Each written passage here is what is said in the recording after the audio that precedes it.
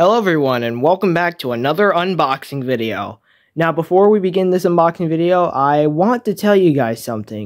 So as you all know, I ordered this plushie off of Amazon, just like the Mighty Mojo Bluebird plush, but just like what happened with the Mighty Mojo Bluebird plush, this package came in way earlier than I thought it would. Like, I literally thought it would ship um, in February at the latest. But that didn't happen.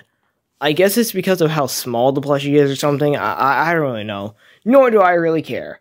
And also, what we have in this uh, in this bag, you could call it. Yeah, what we have in this bag today is very appropriate considering what day this video is being uploaded on. So without any further ado, let's begin the unboxing.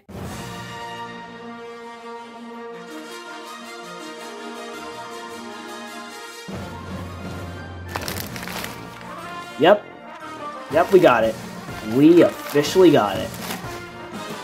Would you look at this? Look what we got here. Alright, uh, let's take a better look at it. Okay, everyone, so this is Princess Leia Bird, and, uh, yeah, she's pretty small, actually. Uh, yeah, this is Princess Leia Bird, as you guys can see.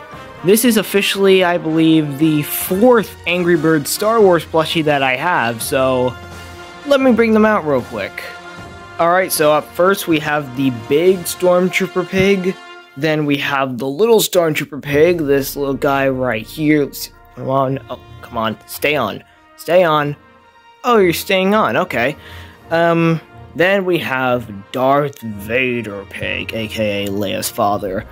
Uh, yeah, these are all the Star Wars plushies I have. And just for a little size comparison, we have my Angry Bird Stella Stella plush. As you guys can see, uh, she's, uh, a little bit, just a little bit taller than, uh, Princess Leia over here. But yeah, I think that'll do it for this unboxing. Uh, it, thank you guys so much for taking the time to watch this video. If you enjoyed, leave a like. If you want to see more, please subscribe and turn on notifications so that you'll never miss a new video.